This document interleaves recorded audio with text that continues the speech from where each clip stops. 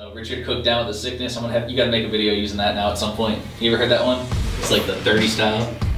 Same Oh, 30 uh, style. It's in uh, Richard Cheese? Yeah, I, I heard that the first time when I was watching. What is it? Dawn of the Dead. Dawn of the like, Dead. By the way, Monday Night Paintball is filmed on Monday morning, which is why I look half asleep. and also why Jason rambled on and on and on and has no idea what's going on half the time when Patrick's talking. It's not just a Monday thing. Don't let him fool you.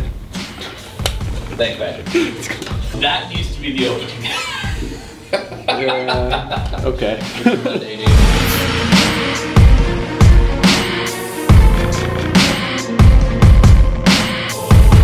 Hey everybody, Patrick here with RAP4. It's March 31st, 2014, and this is Monday Night Paintball. Behind the camera is my buddy Jason Fertig, and we're going to banter back and forth as we go over paintball news worldwide. First up for you guys, we're going to do two different um, spotlights of the week.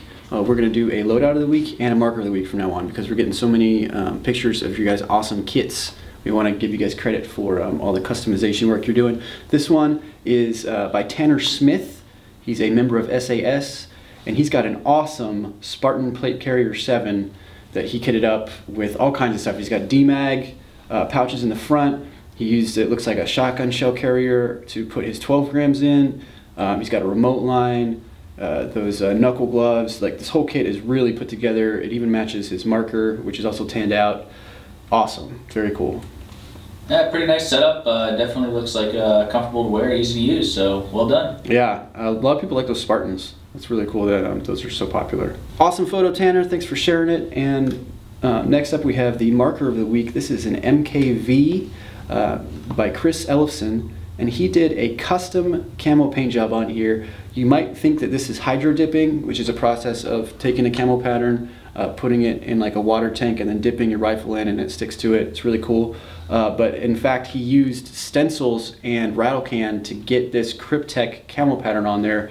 And that looks really, really painstaking, honestly. I'm really impressed by the level of detail that he put into this camo pattern, one layer at a time with a uh, spray can. Very, very, um, very cool marker. Yeah, did a very nice job. Looks very clean. Um, the pattern actually is a really, it's a really unique pattern. You haven't seen a lot of it out there right now. And uh, great job on it. And uh, hopefully we'll see it in action at some point. So shoot us some photos or videos of, of you uh, using it so we can uh, spotlight it again. Definitely would love to see the rest of your kit and how the, the marker works with it. Uh, Chris, go ahead and send us um, some more pictures. We'd love to see it. Next up, this week's Field of the Week is Paintball Asylum in Louisville, Kentucky. Uh, looks awesome. One of you guys actually suggested this. Last week I asked which field we should spotlight.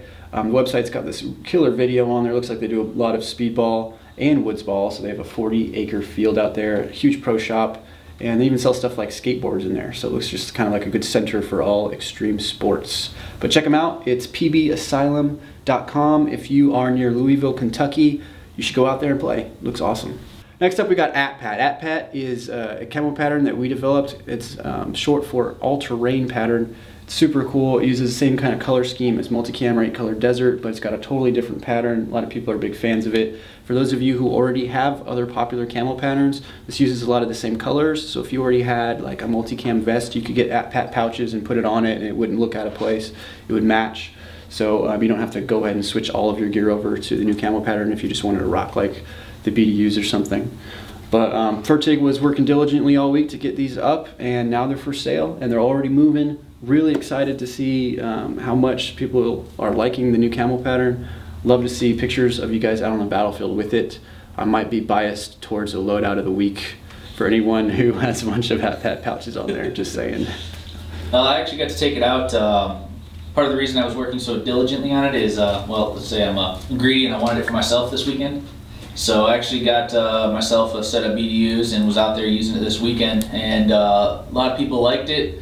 Worked pretty well out there. Um, blended really well with my tan loadout. Um, it just matched up really nicely. So if you guys use tan loadouts, it's even better. Should match up well with OD loadouts as well. So uh, definitely uh, get out there and check it out. Um, and we'll bring it out to uh, Texas with us this year too as well. Speaking of AtPat, um, interesting development.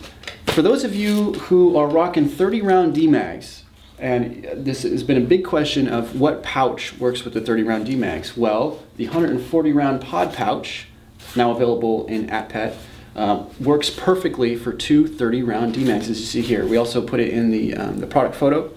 On the, uh, the product page so you can see it working there. And if you wanted to rock it with open top look like so many of y'all do, you can take the flap, tuck it in, and use it that way as well. So uh, Fertig actually found out about this one by accident. How'd that go? Well, pretty much as we've been taking the photos for all the new AtPat products, I've been checking out and seeing what else we can fit into the pouches to make it, uh, show you the most uses for each, uh, for what each pouch is. That pouch actually, I've been using one in my loadout for a long time now, and I usually carry it with a, uh, a spare 17 or 13 CI tank in the background, in the back of it. Um, basically that way, because my loadout has over 20 mags on it, which my 13 CI can't shoot fully, and it's always good to have a spare air tank. You can always reload out in the field. Um, so it's basically uh, been something I've used, and I was just looking at it and went, uh, I wonder if this will fit the 30s, and well, it did. yeah, we got a lot of questions from you guys about um, what kind of pouch to use for the 30s. It being a pretty unique magazine, um, we weren't really sure what to say, but we're really glad to have stumbled upon the solution already in our catalog. So check it out. We got some uh, uh product photos up of it with the 30 round uh, mags to show you guys how it works. And as you guys can see, it's uh, ideal. I, you couldn't really ask for a better pouch than that for those. Yeah, so when you guys are taking a look at the AtPat products, be sure to check out all the extra photos we've been putting up with it. They're showing the, the product with other uses on it, so it'll uh, allow you to get a better uh, scope of what can, you can do with it. Awesome, and this is available in other colors too, right, Fertig? Yeah, it's available available in every other color in our catalog currently, except for tan at this point in time. Cool. Yeah, so those of you rocking 30 round D-Mags, this is a pouch for you, and we would love to see some photos of it on your kit. And last up for you guys, we have Viper's Halo 2552 event going on April 12th through the 13th, and we are going to be there, right, Fertig? Yeah, we are. Um, I'm going to be heading down there. We'll be down there from the uh, Friday all the way through Sunday. Um, so basically from open to close. I'm actually, uh, I just got off the phone with Viper not that long ago. I'm going to be playing in the MagFed portion of the game on Friday. So I'm really looking forward to that and seeing what uh, you paintballers out in Texas have to do with uh, an idiot from Ohio and California have all rolled into one. We want to see what these MagFed shooter games are all about because we're all about the MagFed only games. I want to see what the difference is. That should be a lot of fun. I'm looking forward to getting down there. We're going to have a full, uh, full store and uh, I think Patrick and I will probably do Monday Night Paintball from it next Monday before I pack it up and get on the road. Um, for those of you guys that have seen it, we've been posting up that we will uh, be bringing down product. Today is actually the last day to get an order in for us to bring it down to you. Um, so try, get your orders in today by midnight and we'll get them taken care of for you and taken down there. Um, if for some reason there's some kind of other circumstance, uh, please feel free to shoot me an email um, Monday night at rap4.com and I'll see if I can uh, make some arrangements to get you guys taken care of. But uh, in the meantime, uh, get those orders in as soon as you can. We're going to have uh, a limited supply of 468s for sale with us down there, and some uh, handguards and all kinds of other accessories, as well as a full loadout of uh, everything we just got in an AtPat that I'm still adding to the catalog as we speak. Awesome, dude. We got so much new stuff.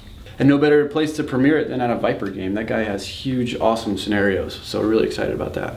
Yep, I'm excited to get down there. It's going to be a long road trip, 26 hours on the road just to get out there, and then 26 hours to get back. We got a couple other stops we're making in the middle, so. Speaking of MagFed only games, our official team ODSC hosts one every month, and their next one is that same weekend. It's on April 13th. This is a MagFed only game. Do not bring your hoppers. However, if you have a hopper fed gun, you want to see what MagFed's all about, they have 10 free loaners they'll hand over to you. It's MKV with some D-Mags. It's a good setup. Get a good taste for MagFed and see if it's right for you. The videos coming out of these things are intense. I get the pleasure of editing footage from everybody's helmet cam. They have a dedicated cameraman out there and they have a dedicated photographer. The pictures and videos are awesome coming out of this thing. Don't miss it. If you're near Southern California or in the surrounding area, it's definitely worth the drive once a month to go get some MagFed only play and see what all the hype is about. The basically the fastest growing part of paintball we've ever seen.